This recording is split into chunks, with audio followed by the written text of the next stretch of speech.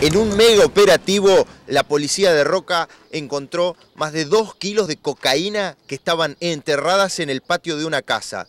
Los procedimientos fueron el sábado y se realizaron en diferentes barrios de la ciudad, pero el hallazgo más importante fue en el patio de una casa en el barrio Quinta 25.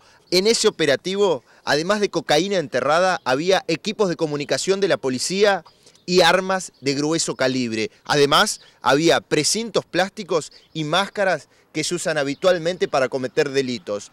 Una persona terminó detenida luego de estos procedimientos en los que participaron decenas de policías de diferentes unidades de la ciudad.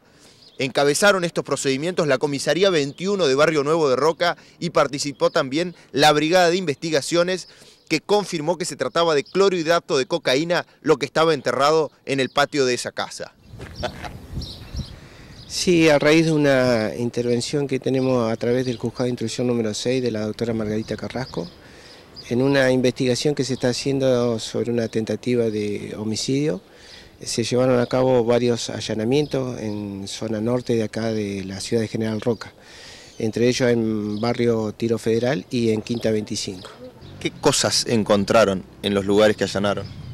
En principio se buscaban elementos, eh, indicios este, como armas de fuego, las cuales fueron a vida, y también este, personas que se necesitaban, el juzgado, así que se detuvo a varias personas, entre ellos una de las personas que está indicada como autor de los disparos. ¿Cuántos son en total los detenidos? Eh, por ahora es una persona involucrada en la causa, más las otras personas eh, fueron demoradas para bueno, prontuariar y saber de su medio de vida y eso. Además había droga en la casa y algunos otros elementos utilizados habitualmente para cometer delitos. Sí, en uno de, los allanamientos en Barrio Quinta 25 efectivamente se encontró alrededor de dos kilos de cocaína. Se han encontrado máscaras, se han encontrado otro tipo de armas de fuego, eh, pistolas, revólver. Y todo esto está enmarcado en la causa judicial que bueno, efectivamente llevan adelante la doctora Margarita Carrasco y la fiscalía de la doctora Jufrida.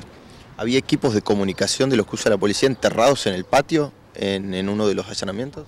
Sí, esa fue otra de las grandes sorpresas que tuvimos porque también se procedió al secuestro alrededor de entre 5 a 7 equipos de comúnmente llamados handy, de los cuales algunos bueno, eh, serían pertenecientes a la institución policial. ¿Estiman que se trataría ya de una banda por la magnitud de cosas que tenían eh, acopiadas en los diferentes lugares? Sí, estamos en proceso de investigación, eh, obviamente este es el inicio de otras este, causas conexas, así que vamos a estar este, investigando esto y bueno, repito, este fue un, un operativo coordinado con las distintas áreas de acá de la ciudad de General Roca.